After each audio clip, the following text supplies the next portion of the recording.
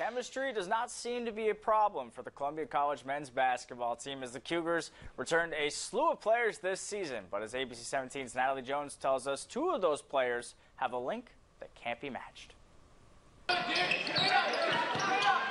Carson and Colin Parker. They're close in number and in relation.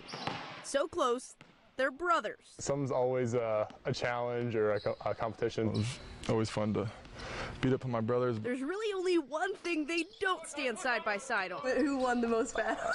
I like to say me, but it's always it just kind of depends on what it was. I think I usually won most of them. The duo grew up in Montgomery City. Our dad was a high school varsity coach, so we were always young, just growing up in the gym.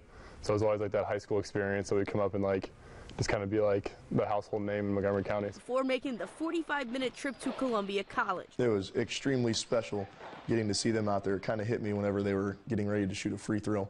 The other team was in Carson and Colin were on the bottom blocks for the rebounders for Columbia.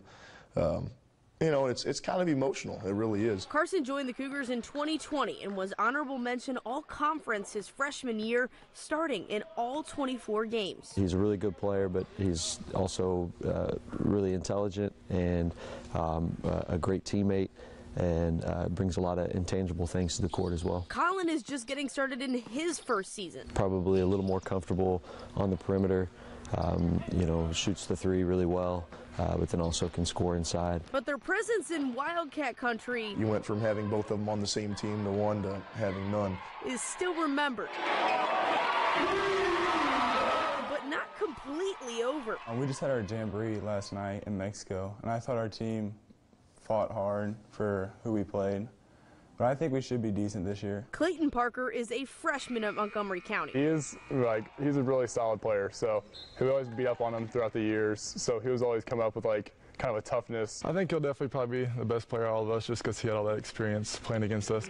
A lot of times people are like, "Oh, that's family building family up." No, that hurts them to say that. They don't they don't want to admit that. It kind of warms my heart too, because it shows they care about me. As for where he'll end up, He's a really good player. So he might go across town here maybe. that's still to be determined. He obviously still has a lot of time to decide. But the bond between the 30s, They're super competitive. They'll talk trash in basketball, but they always have each other's backs. that's set in stone. Reporting in Columbia, Natalie Jones, ABC 17 Sports. Although there seems to be some disagreement on who is the tallest brother at the moment, with Clayton already standing at six foot five, his dad says, without a doubt, he'll end up being the tallest brother.